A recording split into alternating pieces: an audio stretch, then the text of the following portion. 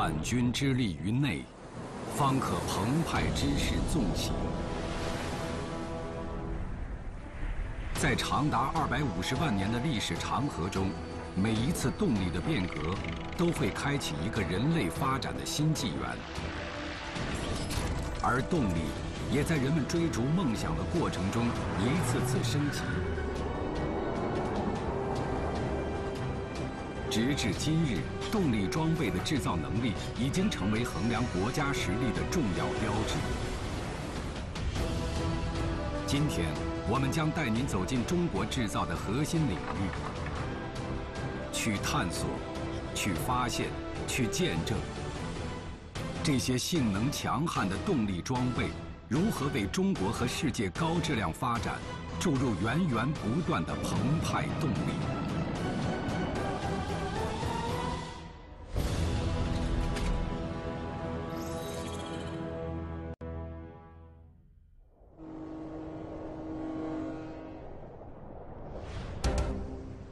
上海长江入海口，一艘载重五万吨的货船正在卸货。船上运载的是驱动这个国家运行最重要的能源。作为世界上最大的能源生产国和消费国，在大力发展新能源的同时，中国也在持续推动煤炭的高效清洁利用。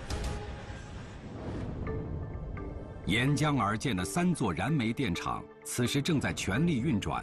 上海市用电的六分之一就来自这里。冯伟忠，这三座电厂的核心建设者之一。实际上，这里一溜排过去，这八台机组都代表着当时的世界最先进水平。世界上所有燃煤电厂的运行原理几乎相同。锅炉中的水被加热成高温高压的蒸汽，推动汽轮机运转，从而带动发电机发电。在这个过程中，汽轮机的能量转换效率极为重要，直接影响着电厂的运行效率。三座电厂中最新的一座——上海外高桥第三发电厂。二零一三年，凭借两台百万千瓦超超临界机组，实现了二百七十六克每千瓦时的年平均供电煤耗，打破了丹麦电厂保持的世界纪录。这项纪录意味着，当年外三电厂每送出一度电，比全国平均水平节约四十五克标准煤，一年就可以节煤五十二万吨，减少二氧化碳排放一百四十万吨。然而，对于冯伟忠来说，这一切远不是终点。他的目标是设计一台全新的汽轮发电机组，把电厂供电煤耗降低到二百五十一克每千瓦时，这将是一个新的世界纪录。无锡透平，国家大型涡轮叶片研制基地，磨断车间里新型汽轮机组的关键部件正在这里打造。高性能合金钢制成的毛坯件具有极高的强度和韧性。直径八米的加热炉将坯料精确加热至一千一百三十三摄氏度。加热后的坯料被送至全世界最大的离合器式螺旋压力机。两万五千五百吨力量的重机，两秒钟的时间让毛坯。一次成型，在这个过程中，叶片内部晶粒已经发生细化，在经过特定的热处理，金属性能就可以提升百分之二十五。锻造好的毛坯件看起来有些粗糙，但在另一个车间里，很快就会完成华丽转身。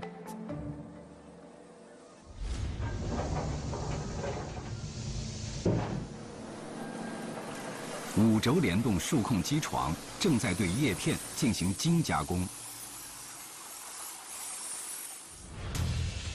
精加工之后的叶片被第一时间送到这里。十九 AHK，还有 H 八二，这叶片的号码是对的。每一只叶片都有唯一的身份编号，工程师必须严格按照顺序把叶片安装到对应轮槽上。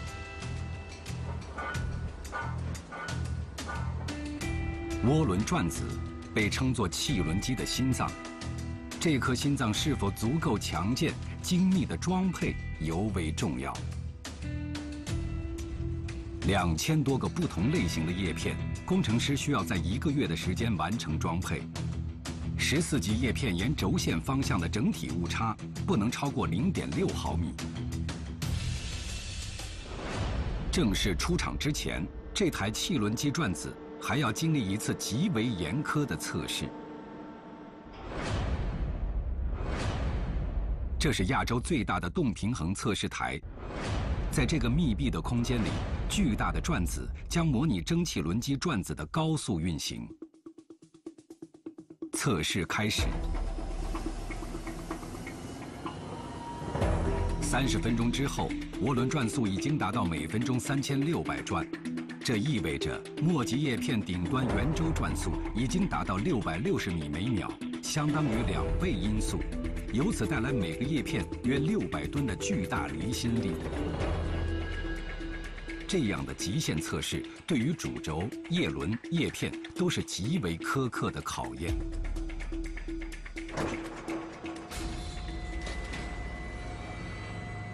测试结束，包括振动幅值、速度在内的各项参数表现正常，这意味着新一台百万千瓦汽轮机低压转子完美通过测试。拥有一百多年历史的蒸汽轮机，如今广泛应用于电厂发电和大型船舶驱动等领域，代表着一个国家的工业综合实力。今天。中国制造的百万千瓦高效超超临界汽轮机组，蒸汽温度达到六百二十摄氏度，压力三十五兆帕，已经达到世界领先水平。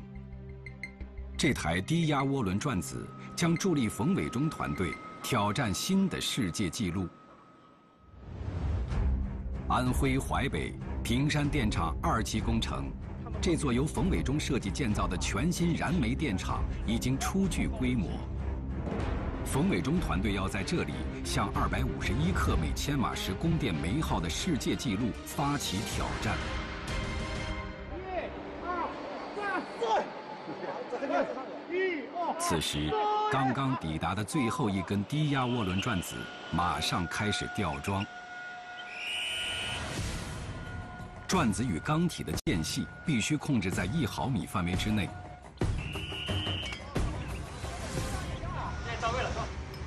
吊装完成，三台低压缸转子构成了汽轮机组的低压轴系。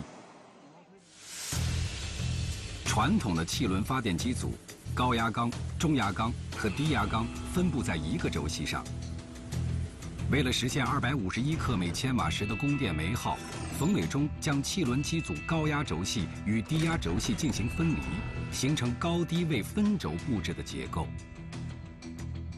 这是一次极为大胆的尝试，在世界百年火力发电史上从未有过。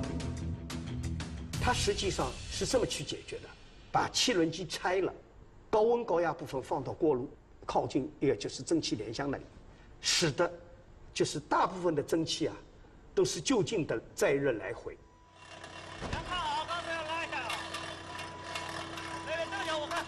伴随着高位厂房行车的运行，采用高低位分轴布置的汽轮机组高压缸开始吊装。重达一百七十五吨的高压缸将被吊装到八十二米高的平台，与锅炉的蒸汽出口基本平行。根据测算，采用高低位布置的汽轮机组比以往减少了将近二百米的高温管道。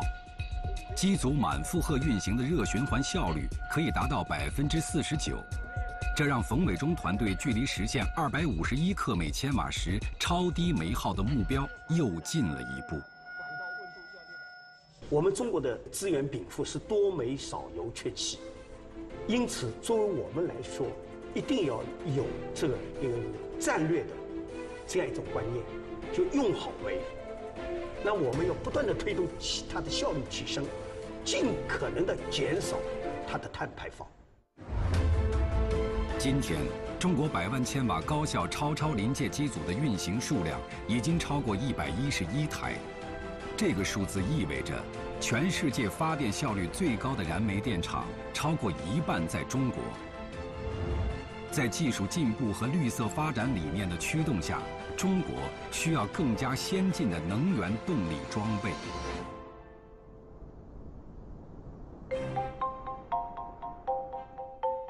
艾松，东方汽轮机有限公司高级工程师，也是东方电气自主研发的五十兆瓦重型燃气轮机项目的负责人之一。二零零九年，五十兆瓦重型燃气轮机的研发。正式启动，项目代号 G 五零。燃气轮机是将空气吸入后逐级压缩，压缩后的空气和天然气燃料在燃烧室混合后剧烈燃烧，产生高温高压气流，推动涡轮旋转做功，从而输出强大动力。与汽轮机相比，燃气轮机拥有更高的热功转换效率，主要用作燃气电厂发电。也是天然气、石油等长输管线的核心动力装备，还可以为大型舰船提供动力。重型燃气轮机被誉为工业制造皇冠上的明珠，全世界只有极少数国家能够自主研制。十多年时间，埃松和团队从零起步，已经完成了中国首台五十兆瓦重型燃气轮机的研制。并顺利完成了点火和空负荷试验。今天，这台燃气轮机将迎来重要的带负荷试验。一旦通过测试，这将是中国装备制造业的又一项重大突破。开始实验准备。首先，我把今天的实验任务给大家介绍一下。中央控制室内，二十多位技术人员已经全部就位。作为现场试验总指挥，艾松不敢有丝毫大意。啊，大家就去吧，注意检查质量。这栋两层楼高的钢结构建筑是目前国内最大的重型燃气轮机整机试验台。三千多个高灵敏度的传感器对温度、压力、转速、振动、位移等指标进行实时监控。任何一个传感器发生异常，都可能影响试验结果的准确性。控制系统确认完毕，认完毕，压气机确认完毕，燃烧器确认完毕。检查工作完毕，所有人员撤离现场。注意安全啊！好，我们就准备起机。点火试验开始了。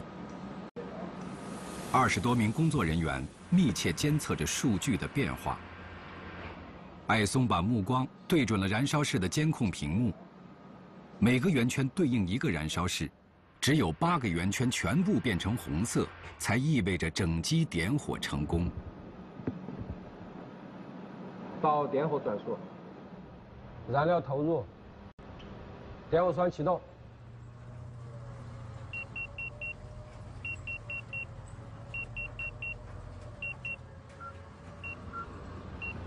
咱们四号是有问题，这就奇怪了。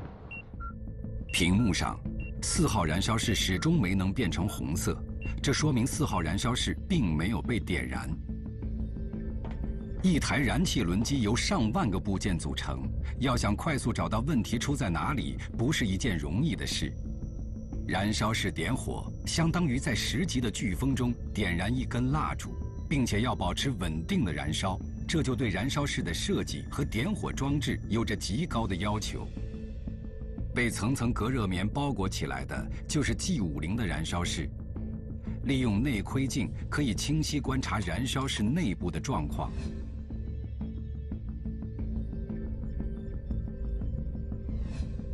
经过反复讨论，艾松决定立即更换全新的点火栓试一试。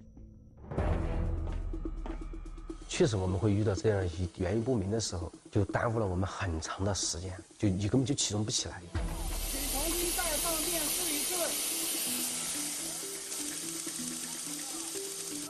新的点火栓换好了，到底能不能解决问题？艾松心里也没底。好，我们开始点火。第二次点火试验开始了，所有人的目光都在关注四号燃烧室。燃料投入。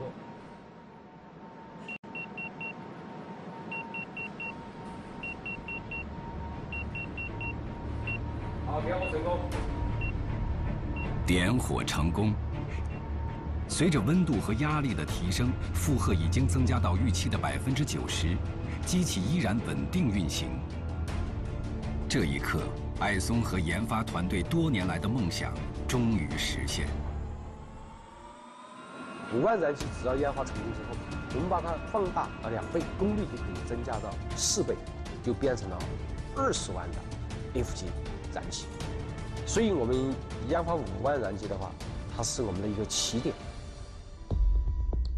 经住车间，带着满负荷点火试验收集到的最新数据和分析结果，艾松决定铸造一组新的高温叶片，用作新一台重型燃气轮机的制造。重型燃气轮机可分为 E 级、F 级和 H 级，温度越高，技术等级越高。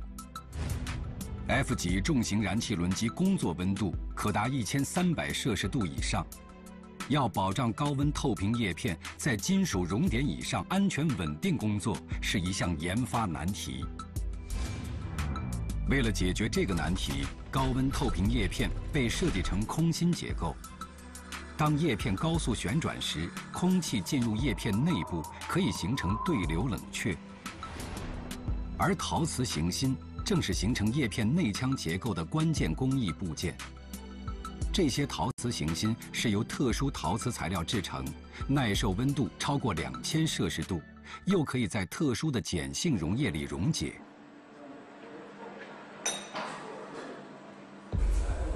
制作好的陶瓷行芯精确定位到蜡膜模具中，通过压蜡机注射成型，制备成蜡膜叶片。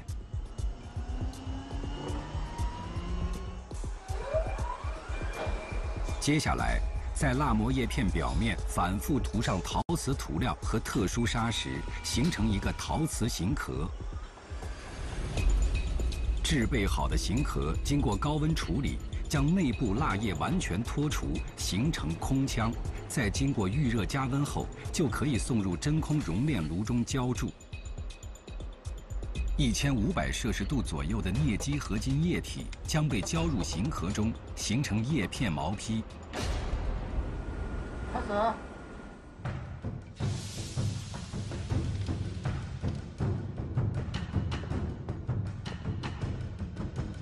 最后，在高温高压特殊碱性溶液中溶解掉叶片内部的陶瓷行芯，高温叶片的毛坯铸件才算制造完成。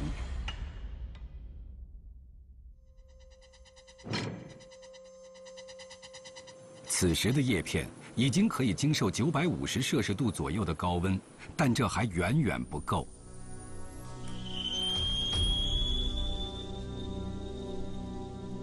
为了满足一千三百二十七摄氏度的工作温度，还需要在叶片表面喷涂上特殊的陶瓷涂层。喷枪喷出的焰流温度超过三千摄氏度，陶瓷粉末融化后，均匀地沉积在叶片表面，形成热胀涂层。特殊材料的空心结构和热胀涂层的特殊制备，让这些高温叶片可以在一千三百二十七摄氏度的高温下正常工作。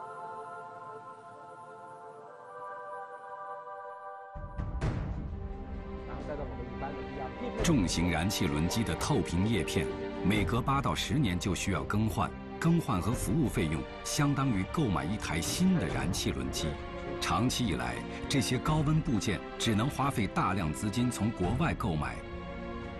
今天，中国已经具备了从制芯到浇铸成型的一整套核心技术。不仅如此，以五十兆瓦重型燃气轮机为起点，中国已经基本具备重型燃气轮机的自主研发能力。对于中国工业制造来说，坚持自主化的道路，才是未来发展的保障。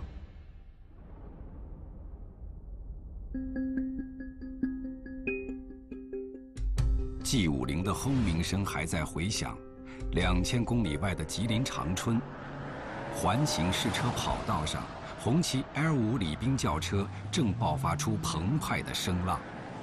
这辆大型轿车不仅代表着中国汽车工业制造的最高水平，在十四亿中国人心中，它也有着极其特殊的国家地位和民族记忆。呃，百公里加速可以在九秒，九秒。很好，请来重新做，把过程中的数据都记录好。收到，收到。没事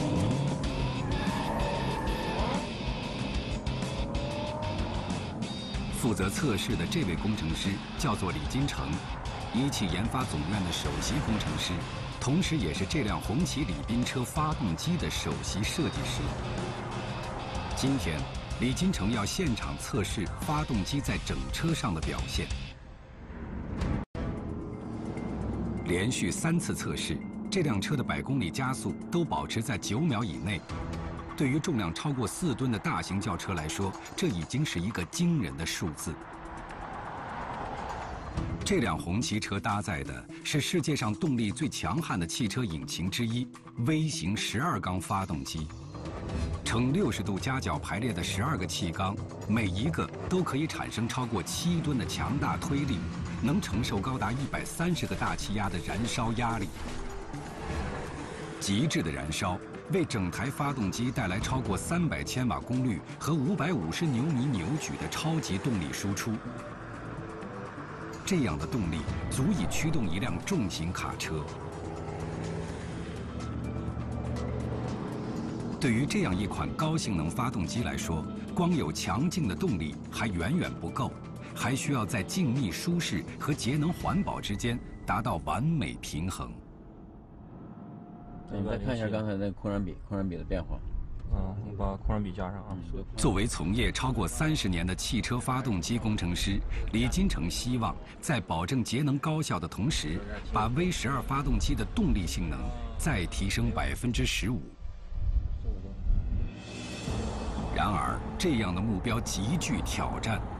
强大的动力来自高效的燃烧，但仅仅是提高百分之一的热效率，就需要对进气、喷油、燃烧室形状等一系列设计进行精细优化与创新。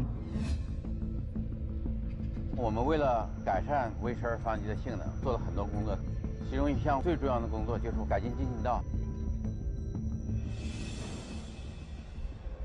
今天，李金城特地来到光学单缸实验室。他要在这里完成一项重要的测试。我们透明单缸机的很重要的一个作用就是验证我们这个气道开发的好不好，和那个喷油器喷雾结合的好不好。光圈呢稍微大一点点，那个图像再往右一点。汽车发动机属于往复活塞式内燃机，空气与汽油以一定的比例混合，经点火燃烧而产生热能，对外输出动力。在这个过程里，气道就像发动机的咽喉，控制着进气气缸内气流的大小、方向和运动强度，是影响发动机动力、油耗、排放的重要组件。而今天，李金城要通过光学单缸机验证最新开发的 V 十二进气道能否进一步改善燃烧过程。你们准备好了吗？我我们准备好了。好。你，点吧，点火吧。这是嗯，对。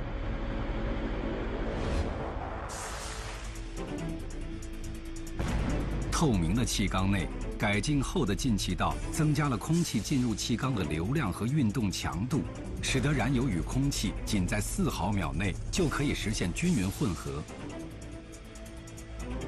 燃烧过程也缩短到零点八毫秒。淡蓝色火焰意味着燃烧过程非常充分，没有碳烟产生。根据试验结果测算。改进后的进气道可以实现发动机动力性提升百分之十五、热效率提升百分之十的开发目标。对发动机来说，透明单缸机只是一个实验验证。装配车间里，工程师李岩正在装配一台新的 V 十二发动机。由于工艺的特殊性，全世界所有的 V 十二发动机。都是手工打造。现在装配的是 V 十二发动机的气缸，每个气缸包含四个气门，十二个气缸要装配四十八只气门挺柱。所有进气门的间隙控制在零点二毫米，排气门间隙零点三毫米。经验丰富的装配工程师凭借手上的触感，就可以选择合适的配件，并且在细致的安装过程中保持气门间隙调配的一致性。三百多种零部件，三千多个装配步骤微型十二缸发动机代表了汽车发动机制造的最高水平。重新改进的发动机，在保证产生澎湃动力的同时，还要与燃烧的静谧舒适之间进行综合平衡。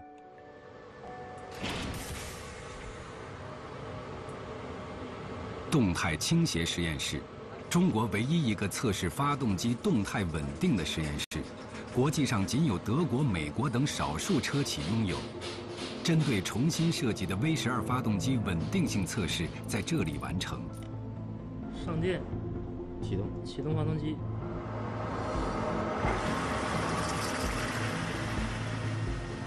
现在是转速五千转，翻转吗？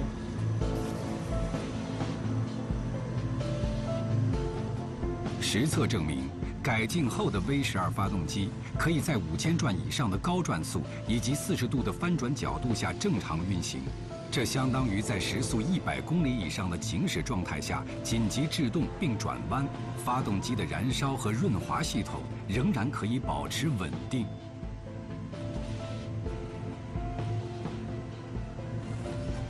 不仅如此，即使在最容易产生抖动的怠速工况下，一枚一元硬币可以稳稳立于运转的发动机上。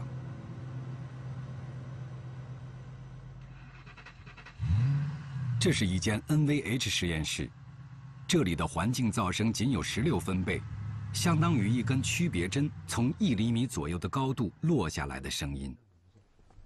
在这样的静音环境下，可以通过模拟人类听觉，检测发动机的噪声和振动控制。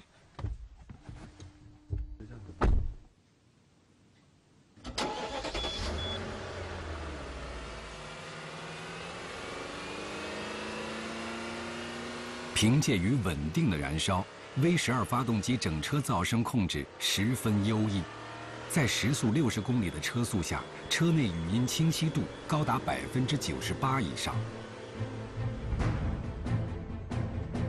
二零零七年，红旗开始打造中国第一款 V 十二发动机。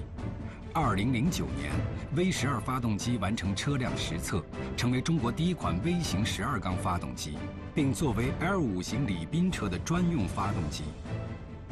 十年后，V 十二发动机又迎来了一次重大的技术升级。在这十年时间里，中国汽车工业的发展也在飞速进步。依托于对微型十二缸发动机的研发，许多新的技术被用在四缸和六缸发动机的开发上。红旗第三代发动机热效率可以做到百分之三十九，这带来了更低的排放和油耗。今天，电动汽车、混合动力汽车等新技术不断冲击着传统汽车发动机。面向未来，这是挑战，也是机遇。只有在不断的技术革新中，才能带动整个行业的又一次变革。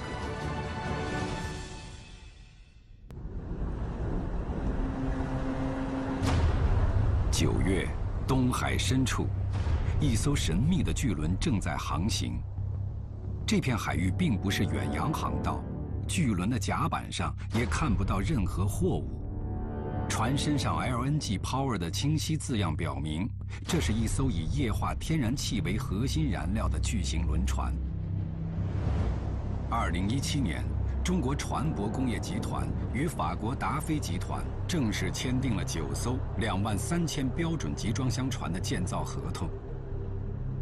今天，完成制造的第一艘集装箱船正在进行燃气试航。全部拔掉。这边手机可以转气了吗？可以了，可以了，正在转，正在转，没事没事。轮机舱内，试航总指挥胡宏宇正紧张地盯着屏幕，马上要进行从燃油系统到燃气系统的不停机切换，他不敢有丝毫大意。在这艘船的设计上，中国工程师采用了一套双燃料系统。这样一来，在保证动力的前提下，它的二氧化碳排放可以减少百分之二十，颗粒物、硫氧化物的排放量可以减少百分之九十九。OK，transfer，transfer，转了再转了。在系统切换时，液化天然气将会逐渐取代燃油，成为发动机的核心燃料。啊，现在已经存气模式转换成功，存气模式转换成功。系统顺利完成切换，大船保持稳定航行。但这仅仅是完成了本次试航的第一步。八个小时满负荷运行之后，巨轮的核心动力部件将会迎来终极考验。两万三千标准集装箱船是真正的海上巨无霸，船长三百九十九米，宽度将近六十二米，甲板面积相当于三点五个标准足球场，这比目前世界上最大的航空母舰还要长出六十多米。最惊人的还是它的运力，满载重量近二十二万吨，一次就可以装载两万三千个标准集装箱。什么样的动力才能够驱动这样一艘超级巨轮呢？上海临港工业区，中国重要的船舶动力制造基地，巨型集装箱船的超级心脏正在这里打造。这是世界上最大的船用内燃发动机，占地面积接近一个标准篮球场，高度达到十六米，相当于五层楼高。重量超过两千吨。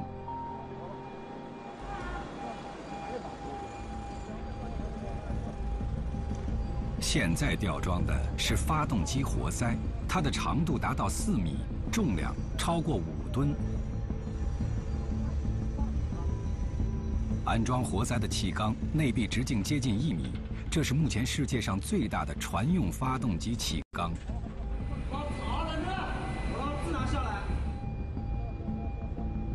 上面下楼是防止碰到这个钢套的表面，一旦要是碰到了，会造成拉缸，拉缸了就意味着钢套报废。直径一米的活塞周长误差不能超过零点零二毫米，以保证活塞与气缸绝对贴合，产生高达六万三千八百千瓦的输出功率。这比二百辆重型卡车加在一起的动力还要强劲。活塞顺利落下后，要跟连杆对接在一起，以带动曲轴运行。像汽车发动机一样，船用发动机气缸燃烧产生的强大爆发力，需要通过曲轴转化成旋转推力，驱动巨轮前行。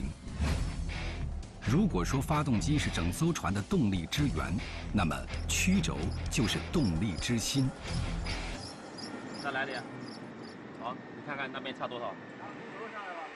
在临港工业区的另一间厂房里，超级巨轮动力之心的秘密就在这里。这是全世界尺寸最大的船用曲轴，重量达到四百八十八吨，总长接近二十四米，几乎相当于一节高铁车厢的长度。这样的尺寸和重量已经达到现有加工装备的极限。中国工程师的方案是将曲轴分成两段加工，然后进行整体对接。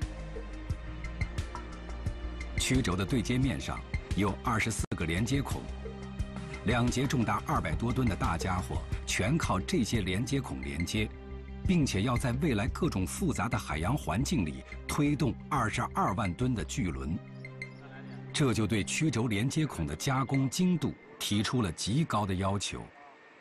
因为这根轴是世界上首次这么大、这么长的轴，为此我们特意研发了这个航孔机，专门为解决这个拼接的打孔的问题。庄凌云的工作就是把二十四个连接孔对准，通过专门的膛孔机加工连接孔，去掉多余的部分。准备开始了啊！转。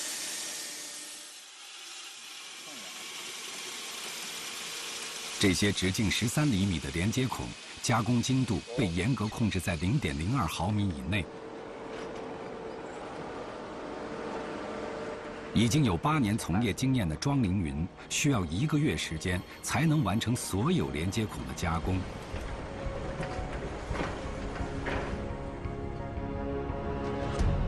大型船用曲轴与船舶寿命相等，一旦安装就终身不能更换。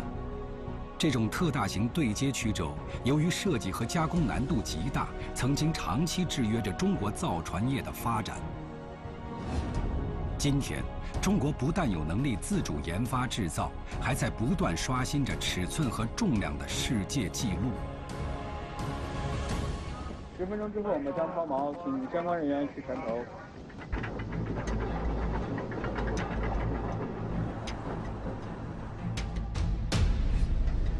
连续航行八个小时后，轮船动力系统即将迎来终极测试。张涛，主机工程师，他今天的工作是本次试航最为关键的一步。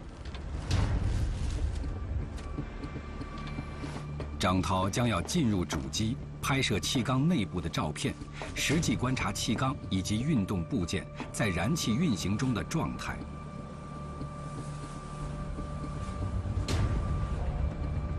此时，发动机已经停止了将近一个小时，但内部仍有五十摄氏度的高温。继续，继续。为了拍摄到清晰的照片，张涛需要不断调整位置。十二个气缸，他需要两个小时的时间才能完成最终的观测。疾控室里，参加试航的工程师和船东代表都在焦急等待。如果气缸运行正常，那么整个气缸的内壁就会十分光滑。相反，如果气缸内壁出现划痕，不但意味着发动机的运行存在问题，缸套也将直接报废。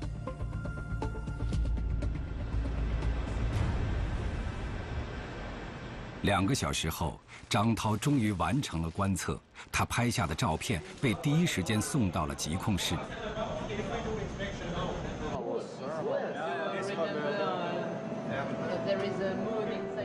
目前拍下来的照片，检查的一个状况来说，蛮好，达到了我们预期的一个效果。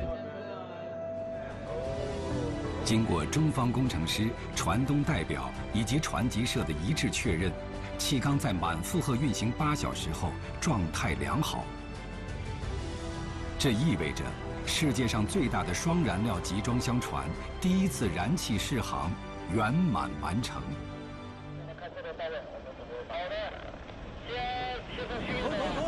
此时，长兴岛一号码头，又一艘建造完毕的巨轮正在驶出船坞。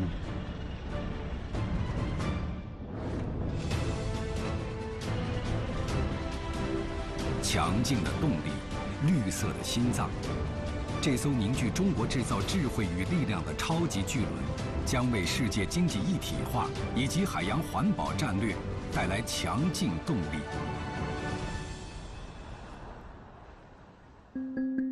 陕西西安，亚洲最大的航天动力研制基地，工程师正在组装一台长征五号火箭助推器。长征五号的一级捆绑四个助推器，每台助推器配置两台一百二十吨级液氧煤油发动机，这是中国现役推力最大的液体火箭发动机。四台助推器。八台一百二十吨级液氧煤油发动机，再加上新一级两台五十吨级氢氧发动机，构成了中国运载火箭的最强动力。长征五号火箭的地面推力超过一千吨，近地轨道运载能力达到二十五吨，能够将一辆重型卡车轻松送入太空。火箭的推力有多大，航天的舞台就有多大。面向未来，中国人探索宇宙的雄心远不止于此。二零三零年前后，中国将实现首次航天员登月，并开始建立月球基地。这就需要运载能力更强的重型火箭。我们目前呢正在开展五百吨级液氧煤油发动机的研制工作，目前呢已经取得了一些重大的一些突破。眼前这个近四米高的大家伙，就是中国正在研制的新一代重型运载火箭发动机——五百吨级液氧煤油发动机。这款发动机的最大推力是现役一百二十吨级发动机的四倍还要多，这将是世界上推力最大的双喷管液氧煤油发动机。这台发动机采用双推力式设计，涡轮泵转速可以达到每分钟一万六千转，形成七十五兆帕的强大压力。每秒钟输送的燃料就多达一点六吨，仅用三秒钟就可以形成最大推力。然而，推力增大带来的燃烧不稳定也成倍增加。因此，针对五百吨级液氧煤油发动机的优化设计仍在继续。秦岭脚下的试验基地里，大推力火箭发动机关键组件的燃烧试验正在进行。工程师洪流带领的团队一直在研究工况变化对火箭发动机单喷嘴稳定燃烧的影响。经过单喷嘴的研究，让火焰稳定下来，这是单喷嘴研究的这个任务。做完以后，再做多喷嘴，再再往整机去推。单喷嘴工况变化对稳定燃烧的影响一旦得到验证，就可以根据相似准则测算出五百吨级液氧煤油发动机。在推力调节下稳定燃烧的大致范围。为了保持液氧的冷却，工程车需要输入大量液氮以保持低温。七零幺，速台启动，录像启动。晚上八点，试验开始。七零三，刘博。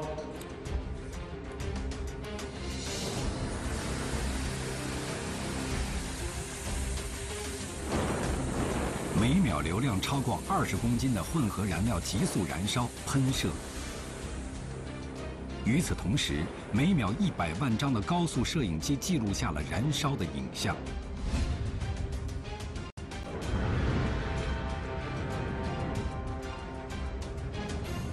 综合多次测试的结果，在百分之六十到百分之一百一十的工况下，单喷嘴都可以实现稳定的燃烧。这就为五百吨级液氧煤油发动机推力调整能力的优化设计奠定了基础。另一方面，五百吨级火箭发动机无论是涡轮泵的功率还是发动机的体积，都相应的增加。在不影响推力和运载能力的情况下，减轻火箭发动机自身的重量就显得十分重要。重型这里面，陈辉，航天科技集团六院重型火箭发动机的研发副总师，他带领团队正在针对重型火箭发动机的重量进行优化设计。这个产品呢是发动机里边的传力装置，它在整个发动机里，它的作用是非常大的。可以看到我们原来的这个设计的。是一个比较规整的、比较平的结构。那么通过拓扑优化，不需要的这种重量，它就可以完全的去掉。最终的形态就是很多镂空的地方，但实际上载荷和强度并没有减少。由于大量运用了数字拓扑技术，五百吨级重型火箭发动机的自身重量减少了百分之三十，在推力和载荷之间找到了平衡。根据最新的优化方案，陈辉和他的团队准备打造新一台工程样机。工程师们正在将涡轮氧泵和煤油泵进行连接，这是发动机装配极为关键的环节。五百吨级发动机涡轮泵输出功率高达十二万千瓦，相当于一个小型水电站的功率。如此强大的功率输出，需要由这根直径一百多毫米、重量三十公斤的传动轴完成逐级传递。因此传动轴必须做到绝对垂直，才能顺利进入。连接花键也必须精密啮合，不能有一点晃动。完成这样的装配，需要多位经验丰富的工程师默契配合。已经进那个定位台了。重型运载火箭发动机代表着世界航天动力的最高水平。这台工程样机一旦完成装配，就将开始半系统试车。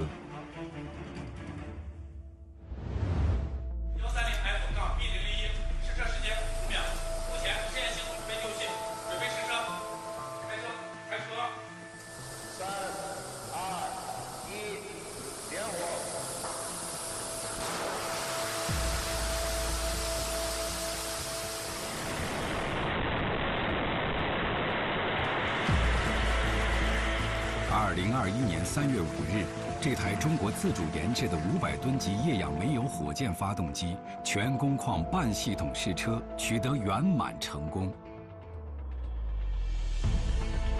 有了五百吨级的发动机，以重型运载火箭的论证的构型来看，一级可以配十二台的五百吨级的发动机，这样推力能达到六千吨的起飞推力。这一下子能够支撑在基地球轨道可以达到一百五十吨的这样一个载荷上前，这样的话就是对登月往返、更深太空探索能够提供可靠的动力保障。装备强国，动力先行。今天的中国有足够的信心和实力，向着更远的太空探索。从能源到交通，从工厂到城市，从空天到海洋，这些性能强悍的动力巨兽驱动着这个国家一路向前。燃烧、速度、效率，这些关于动力的极限，中国工程师正在逐一突破，迈向装备强国。中国正发动引擎。全速前进。